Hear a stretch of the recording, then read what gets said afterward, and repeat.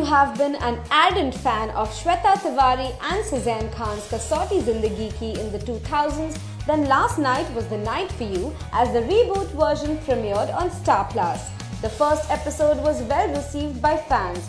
Netizens flooded TV's arena Ekta Kapoor's timeline with a lot of positive response.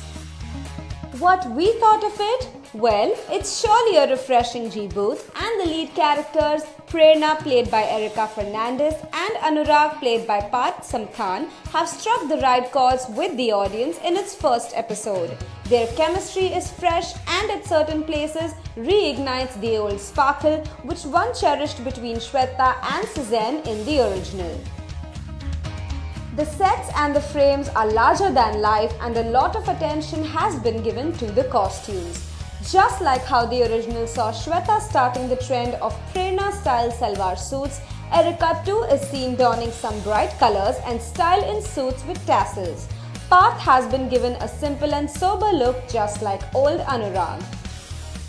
The show's beginning was exactly the way original had started, highlighting the different natures of the protagonists. In fact, most of the scenes will take you back to the 2000 Kasautii.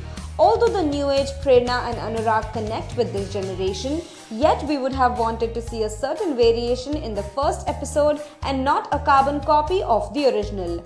Looks like Ekta just didn't want to take any chance with it. Shah Rukh Khan, who has been playing the narrator of the show since its promos went on air, comes back to conclude the show. Overall, the first episode has succeeded in creating a strong base for viewers to come back to it.